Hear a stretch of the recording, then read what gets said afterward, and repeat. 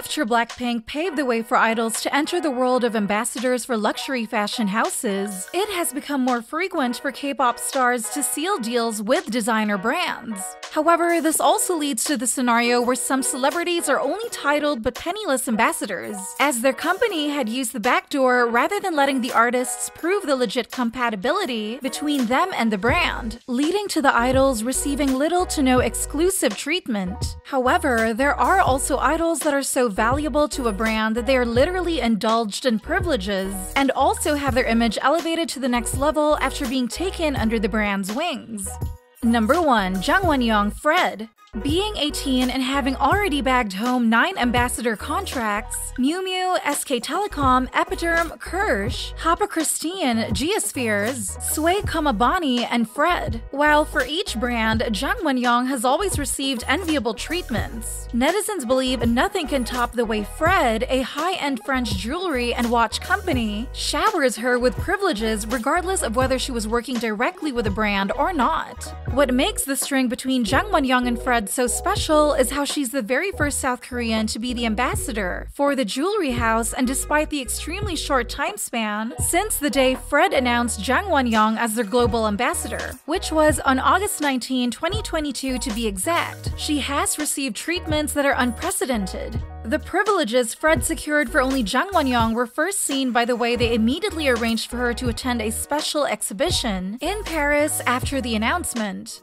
Fred was so considerate of Jang Won-young that rather than letting herself prepare for the transportation, accommodation, and catering staff, the brand took everything into their own hands, making sure Jang Won-young never had to lift her fingers for anything. That's a bit of an exaggeration, I know, but the special treatment Jang Won-young was showered in during this trip was still not a joke. Right after Jang Won-young landed, she was taken to a gorgeous hotel Fred specifically prepared for her. While the name of the hotel wasn't revealed due to safety and commercial reasons, netizens believed the room was a suite in a bloodily expensive hotel considering the interior layout. There were also bouquets of flowers and a written letter exclusive to Jang Won-young, making everyone question how Jang Won-young could lead such a flamboyant princess-like life at just the age of 18. And guess what? At the time, she had just been on board with Fred for three months. On the next day, Jang Won-young was also escorted around the city by a staff member of Fred. And later that night, she was again indulged in privileges as the brand especially sponsored her with a beautiful diamond jewelry piece Fred's Force 10 collection. Out of the four pieces she wore that night, the bracelet and necklace were so exclusive that their price wasn't listed, and for the ring as well as the earrings. The total value summed up to about 7,000 USD. The exclusive privilege Fred secured for only Jung Won-young was also seen through the way they fully placed their trust in her, letting her wear a necklace whose value was around $55,000, just to record a video for Vogue Korea. Not long after that, Jung Won-young was also invited to a big event of Fred in South Korea, and looking at her shining and bougie jewelry from Fred, many said her image was indeed elevated to the next level. When Jung Won-young did the photo shoot for Fred, the brand also sponsored her with necklaces, bracelets, and rings with a total value amounting up to $25,000. The brand even gave her a statement neckwear piece for their Pretty Woman collection, and its value alone was already $149,000. To make sure Jang Won-young was the room's attention shining their special jewelry, Fred also secured her a spot on Marie Claire Digital and when this happened, Jang Won-young was only with the luxury house for about two weeks. Besides, the special treatment material-wise, Jang Won-young also received a heartwarming welcome from the Vice President Artistic Director of Fred, Valerie Samuel. At the event, Valerie Samuel not only happily greeted Jang Won-young with an air kiss, but also endearingly looked at her throughout their very first conversation. A representative from Fred also specifically sent flattering compliments to Jang Won-young, believing her immense charms would help Fred portray their spirit most wholesomely. Number 2. Jisoo Dior while all four members of Blackpink receive extra special treatment from the brands they endorse, netizens believe Jisoo is still an outlier compared to the rest of the group considering how Dior has been showering her with the most exclusive privileges. Ever since becoming the global ambassador of Dior, Jisoo has not only been secured a special spot at all luxurious events related to Dior, but also established a strong bond with many senior managers of the famous fashion house.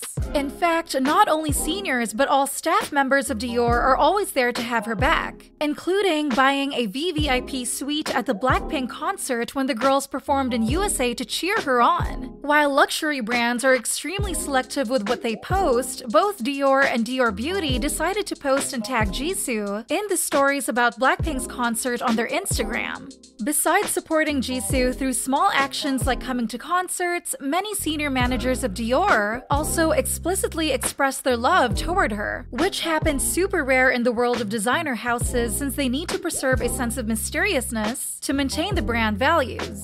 During her trip to attend Dior show in 2021 Paris Fashion Week, CEO Pietro Beccari not only greeted her in a normal way, but even talked deeply about YG Entertainment, saying had they ever fired Jisoo, he would definitely take her under Dior's wings. He later emphasized the importance of Jisoo to the fashion house, saying the business between Jisoo and Dior was a perfect marriage, where both parties thrive thanks to each other. When the topic got trended among CNETs, many said they were taken aback as to how Dior's CEO could make such an offer, and while Beccari said it in a half joking manner, they could see the implication of how he would wholeheartedly support Jisoo and hope to have a long term cooperation with her. Besides always proactively strengthening the rapport with Jisoo, Dior also makes sure Jisoo only receives the most exclusive treatments from them. For example, during one visit to Dior in 2021, Jisoo was introduced in person to the famous Lady Dior bag, a special item designed in 1995 and offered to Princess Lady Diana. She was even allowed to feel the authentic texture of the bag without gloves on. And as netizens noticed, after Jisoo said the bag was so beautiful that she also wanted one, Dior quickly tailor made her a similar bag since Princess Lady Diana's bag was a not for sale collector's piece. Not only taking care of Jisoo like a baby in real life, Dior also goes extra lengths to pay attention to every single thing related to their lovely global ambassador online. One time, when posting about Jisoo on their official TikTok account, the brand jokingly contested with their fans to make sure Jisoo was theirs and only theirs. Dior also ensured Jisoo a soft spot on the covers of all famous magazines, and most recently, she has been the very first Asian to have a solo cover on one of the big four covers, Vogue France. From South Korea to mainland China, the number of iconic artists that have long been in the industry and received Nobel Awards is countless. Yet, when Dior wanted to have a face best representing their spirit on Vogue France, they went for Jisoo. This special event quickly garnered the attention of Meta as just a few minutes after Jisoo posted the photo on her Instagram, Facebook and Instagram used their official accounts to compliment Jisoo. The head of editorial content at Vogue France also reposted Jisoo's cover on her personal Instagram. Editorial director of British Vogue, Edward Enninful, also liked the post. This made many people forecast that Jisoo would soon make it to the next cover of the Big Four magazines, turning her into the very first Asian to achieve such a triumph. Besides having Dior's support and being featured on special covers, Jisoo has even received a whole tailor-made wardrobe from Dior. Even on occasions that she didn't explicitly promote for the famous fashion house like Blackpink concerts and comeback press premieres, Dior still takes care of Jisoo's image and makes sure she always appears at her finest. Number 3. Lami SM Entertainment more often than not, once a trainee leaves a company, especially one of the big three, to either pursue their own dream or simply to take a break, they will have a one way ticket out. However, Lami has recently become the very first exception in K pop history to not only leave and rejoin SM Entertainment, but also receive a vast range of privileges that no trainees have ever received before. While SM Entertainment has their own scouting staff to recruit potential faces for the company, Lami was specifically chosen by the former CEO Lee Soo-man and probably for seeing her great potential. She was even introduced under SM rookies along with Irene, Seulgi, Taeyong, Jaehyun, and Jeno, all of whom are top famous members and have top resources to promote individually in their acts. What's even more mind-blowing was that Lami was only 10 years old at the time, and while all other trainees only had their teaser photos posted, Lami was given the privilege to record an introduction video along with SNSD Tiffany. Not long after that, SM Entertainment also let Lami join the famous show The Mickey Mouse Clubhouse of Disney, where Super Junior's Leeteuk was the host. Just one year after training under the agency, Lami was allowed to appear with other senior trainees and famous artists of SM Entertainment at SM Town Live World Tour 4. And considering how big entertainment companies would never reveal their trainees' identity unless they were fairly sure about letting those trainees debut, Lami was believed to soon be an official piece of SM family at just the age of 11. In the following years, SM Entertainment granted her various opportunities to enter the industry, bringing her commercial contracts in modeling, acting, game shows, and acting. AM 11 o'clock montage, Twinkle Twinkle, Five Finger, and Red Velvet's debut, MV Happiness. Also, for this, it was also a big shock that Lami decided to leave the company around October 2022, and rumor had it that her departure was the aftermath of extreme depression with both the company and the entertainment industry. The last straw leading to her leaving was also said to be the exclusion from aespa's debut lineup, and soon after the speculation circulated the internet, Lami opened a personal Instagram account disappeared from SM's business reports and SM Rookie's profiles.